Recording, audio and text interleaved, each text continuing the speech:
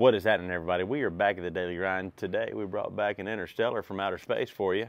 This thing is really cool. It's a manual out the front, 8CR13 MOV on the blade steel. Now, this is a single-sided bevel right there and got the partially serrated blade. Again, this is an out the front manual right there. Stainless steel pocket clip, GFN on the handles, and got the bottle opener on the back end so you can crack open the cold one after you get back from outer space. This one's coming in at $45.99.